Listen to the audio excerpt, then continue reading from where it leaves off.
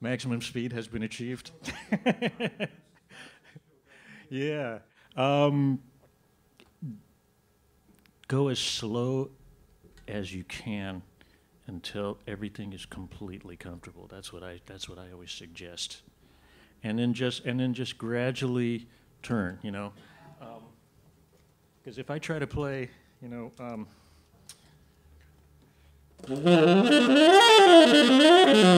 try to play it like that, it's kind of crazy. But if I go, a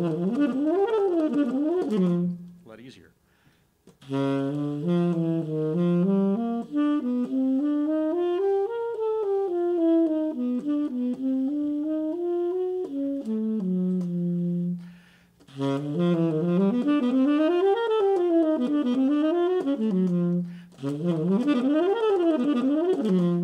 Makes sense as it gets faster.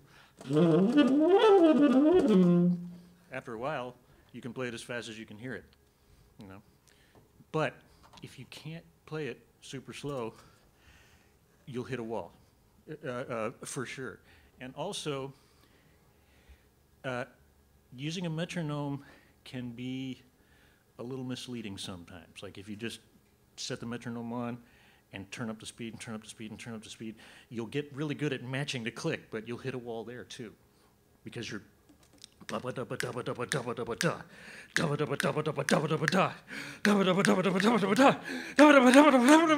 as fast as I can go, right? But if you go.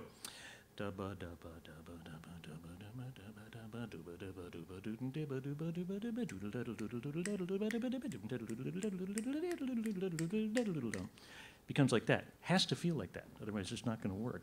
So, I don't know if that answers your question, but that's how I have always been developing speed. You know, those